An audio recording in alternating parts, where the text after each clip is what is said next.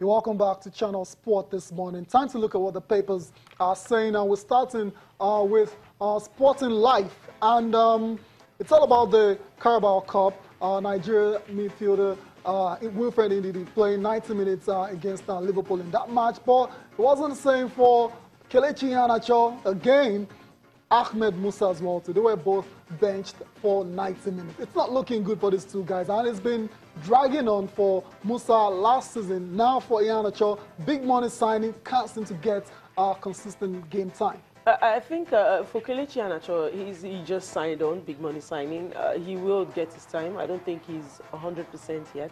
Uh, uh, but uh, for, for Ahmed Musa, I was actually quite surprised. He stayed at the club at the end of the window, mm. and uh, you know, you just have to get whatever you, you, you, you know, whatever time that is given to you. Uh, uh for Wilfred Ndidi, he wobbled a little bit yesterday, and I was, I was quite worried.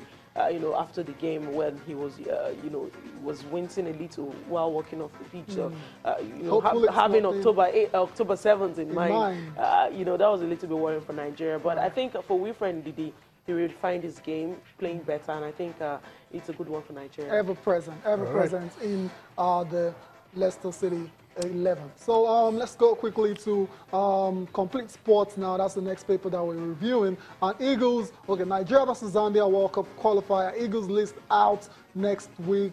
Are you expecting any surprises uh, in this list that is coming out next week?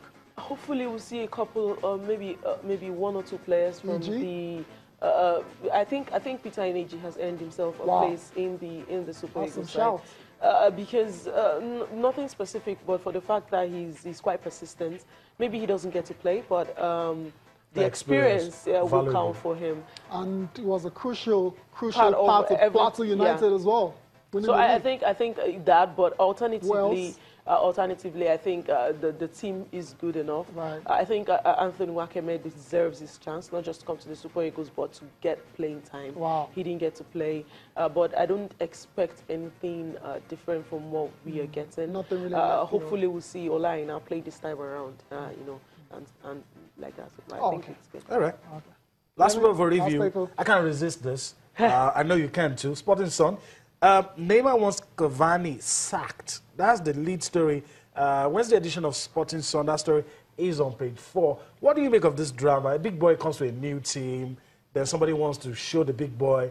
I was here before you came.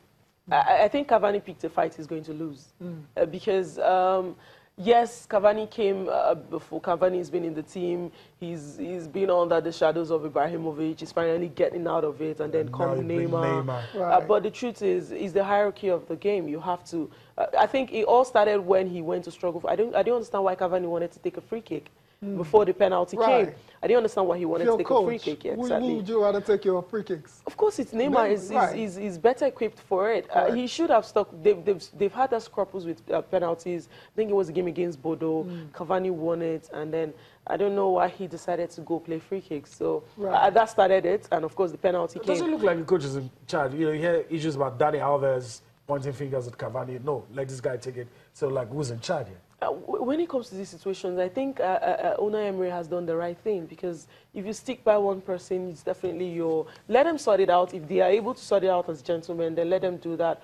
Alternatively, he will not say, okay, you take free kicks, you take penalties, right. and if you're not around, the other person does it. But for now, let's allow both men. I don't necessarily think Neymar wants Cavani sacked. Okay. Does he have that in his priorities? No, uh, no, so. he doesn't have that. He just wants to score as many goals as but possible. But if, if he goes down the wire, I think Cavani, he just picked a fight he might lose. Right. okay. Right. So that's it. No, that's it for Neymar and Cavani. Uh, a couple of tweets uh, before we leave the studio. Uh, Oguforo uh, Bosun says, I, I, think Ferdinand is just looking uh, for a platform to forget uh, his loss. Professor Chris Anaina, we have your tweet here as well too. You say, uh, Benin team should be taken seriously. Any lackadaisical uh, attitude will cost Nigeria uh, the game. And um, yeah, that's it. Now, that's it. Thank you uh, for your tweets. And um, yeah, thanks for watching as well too. Uh, Chidiberry, uh, thanks for coming.